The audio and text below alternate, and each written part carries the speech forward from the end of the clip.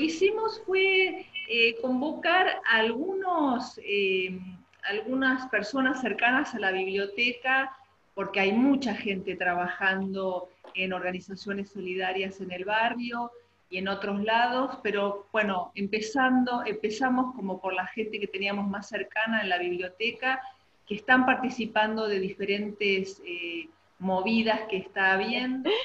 Bueno, eh, yo en principio les cuento que yo estoy de la revista del barrio, de Industria Argentina. El rol que estoy pudiendo tomar ahora es el de difusión de todas las actividades y de toda la movida solidaria que, como vos decís, Sana, es impresionante en Saavedra y alrededores. Eh, lo que les quiero decir es que, mm, eh, bueno, son más o menos unas 11 organizaciones de vecinos que están trabajando activamente para poder de alguna manera a paliar las necesidades vitales que hay en el barrio. Eh, esto sin ninguna ayuda eh, oficial, ¿no? Ninguna ayuda de ninguna institución eh, de gobierno ni del Estado. son realmente vecinos autoconvocados que pusieron el hombro y le pusieron el cuerpo a la cocina y a ayudar a quienes más lo necesitan desde el primer día de la cuarentena. Yo lo que sí siempre digo es que lo que pasó a los poquitos días de empezar la cuarentena es que la movilización que se empezó a dar entre los vecinos fue increíble. Pueden ver, se armamos un grupo que se llama Todos por Saavedra, que se armó a los pocos días de empezar la cuarentena, en marzo. Ya están, creo que hay cerca de mil personas que están sumadas al grupo y el barrio necesita un agradecimiento enorme, porque eh, estas personas están dando y poniéndole el cuerpo de una manera que a mí me, parece mm, nada, muy, muy importante y que está bueno que todos los podamos reconocer, ¿no? Y también ayudar de la manera que cada uno pueda. Lo que estoy haciendo es em, distribuir, llevar libros a los chicos, a los niños de, Barrio Mitre. Eh, yo soy vecina del barrio, vivo muy cerquita, a una cuadra, y y bueno, y soy parte también del centro comunitario del barrio, que hace como 30 años que, que labura muy profundamente con la comunidad. Eso empezó la, cuarentena y ya la cosa se vio que venía medio, para largo. Eh, busqué libros que tenía en casa, que eran de mi hijo, que estaban ahí durmiendo las siestas hace años, porque él ya tiene 18 dije, bueno, voy a llevar al barrio algunos libros, a nada, a ver si, si les sirve a los pibes y a las pibas a, entretenerlos un rato. Y bueno, y crucé un día a ver cómo era la movida que estaba pasando, había ya dos ollas en, movimiento, estaba todos los días la olla de, de los Goyeneche, la murga del barrio, que también se autoconvocó muy rápidamente. Bueno, y vi que sí, que había aceptación, de que se iban con la vianda y con el libro, y como que le vi un poco de sentido a esa situación de, acompañar eh, la comida o el bajón de tener que ir a buscar tu, comida, ¿no? Que muchos lo estaban haciendo seguramente por primera vez. Eh, con un libro, y movilizante para mí. y me di cuenta que habíamos llegado como a los tres mil y pico Así que, bueno, tengo que ahora iba, cuando llego a algún número trato de contarlo. Si acá se ve en casa. Este es mi rincón de, de los libros, que ahora están como todos embalados ahí. Eh, la primera que le preguntó a Soledad, que no sabía cómo engarar eso, ¿no? Eh, la idea cuadradito de lana, que no lo sé, son cuadraditos de lana, de, en principio de 10 por 10 o de 10 por 20, que se van cosiendo para formar mantas. Yo creo que a esta altura de 10 mantas ya tenemos hechas.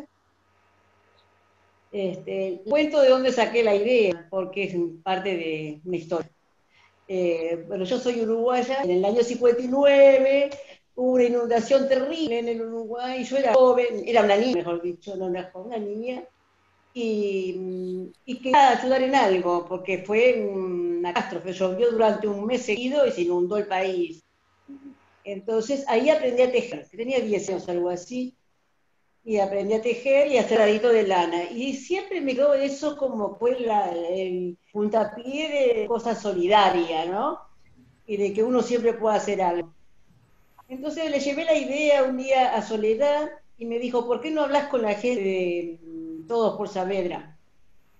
Así que puse la, en el Facebook, algo así, y me respondió una chica Paula, que del grupo de mm, El Amor y la Igualdad, y ella es la que se encargó de hacer el volante, de difundirlo, y toda la semana vi con un bagaje de bolsas, cuadraditos y cuadrados y cuadradotes, que entre Beatriz y yo los pusimos para hacer las mantas. O sea, hemos hecho una sola de dos casas porque lleva, eh, una simple lleva unos 200 cuadraditos, una de una casa. Así que bueno, de dos plazas hicimos una y después algunas mantas o para, o para bebé también hicimos. Y bueno, seguimos con eso. No es solo el barrio Mitre, es comida y necesidades de gente de Saavedra, eh, de vecinos de Saavedra en general, donde también está incluido el barrio Mitre. Pero yo vi gente que va a buscar comida que se iban con la comida y vuelve la madre y dice, ay, me olvidé, estuve tejiendo estos cuadraditos que los traje y dejaban los cuadraditos, gente que iba a buscar comida. Entonces, eh, la emoción eh, es sorprendente, ¿entendés? Y, Carmen, una compañera del grupo de Cocinas Abiertas, de que yo participo y estoy, me dice, no, estoy yendo eh, a llevar libros con una persona, amiga que conocimos, eh, que se acercó, que nos acercamos, y ahora la veo y es ella que está acá. ¿Dónde está? Em, Mariel. Mariel. y, la veo y, o sea, son estas cosas que tiene el barrio y que tiene, bueno, eso, que son hermosas y son emocionantes. que somos todos gente que si no hay laburo te, jorobaste. Se me ocurrió, dije, bueno, voy a, las verdulerías y a los negocios, las dietéticas, porque la otra es esta. Nosotros no nos, no nos formamos como grupo para hacer asistencialismo. Nosotros nos armamos como grupo para hacer comidas ricas, comidas coloridas, comidas saludables, porque lo que queremos es eh, ofrecer también, y ya lo hemos hecho, charlas de cocina, de alimentación. Eh. Algo muy triste, eh, la brecha digital va a ser algo que para mí va a marcar esta cuarentena como algo muy injusto para, la gente que, no ha podido acceder al ámbito escolar, ¿no? A veces hay una casa con cinco pibes y un celular que, que funciona a medias, eh, que a veces se le puede cargar y a veces no. Bueno, la verdad es una situación muy, muy complicada, muy difícil, de la que los medios, la verdad que lamentablemente hablan muy poco y que va a tener eh, una repercusión, o sea, nada, muy, muy dura, muy dura en, los chicos, ¿no? En su escolaridad. Eh, uno ve este micro espacio, ¿no? Que, somos nosotros acá, y yo lo puedo decir por estos casos cercanos, pero es algo que se replica en todo el país. Claro. Pero bueno, no, nada, no, no, no hubo respuesta, no hay, no hay manera de... Yo tenía como cierta expectativa porque el barrio, digamos, dentro de, lo que es como Comuna 12, no hay mucho barrio, digamos, precarizado, digamos, bueno, quizás como un proyecto de comuna se pueda lograr, en donde generar como está, por lo menos el acceso a Internet. Y no, no se pudo.